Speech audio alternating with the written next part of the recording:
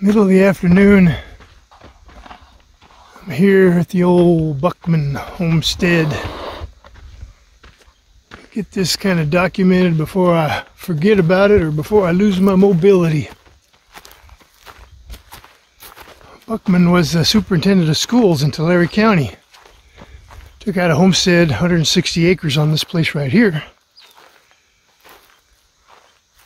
And lived up here and raised horses. To make a go of it, but I think he finally gave up on it. Those tanks are new, of course. Solar panels, there's a pump there. The new owner's got water providing for all of the cattle here. There should be a creek coming through over there where them willows are. I think the old cabin used to be right out here somewhere on this flat. These rock piles here used to be full of junk when they abandoned this cabin. They just threw all the metal parts in this rock pile, burned all the wood. I, think, I don't know if those corrals were here. They could have been maintained. Would have had some kind of corrals to take care of the horses and what have you.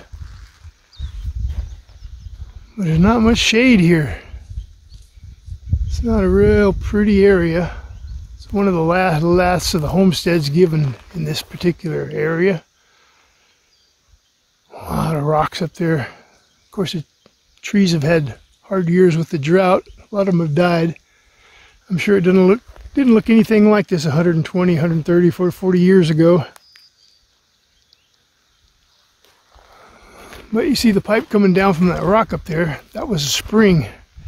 And a really good spring too. That's what fed his cabin. That's why I think the cabin was right out here somewhere.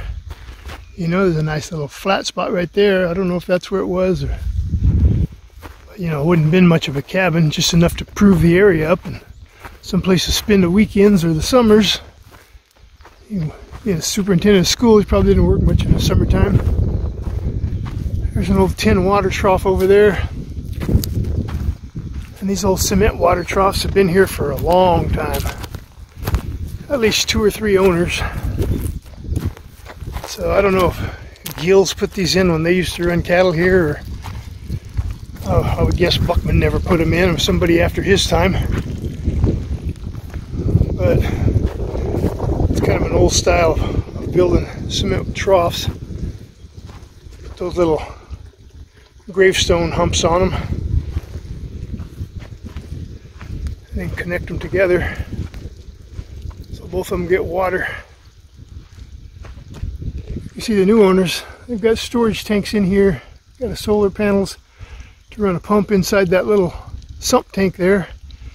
And then you see a pipe going up the hill, across the hill. They got water running everywhere. They got these little tank farms all over this place now, so you always got water somewhere for your cattle. Been a while since these guys were cleaned out.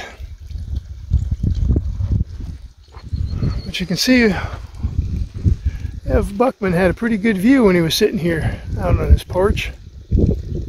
Potato Hill over there. Jet Hill, the closest one to us, where the jet crashed in 49. I think that's uh, Bowery back there, the last one you can see. Blue Ridge would be just behind it.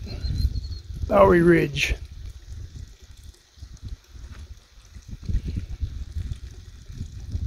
Couple little springs just over that knoll there.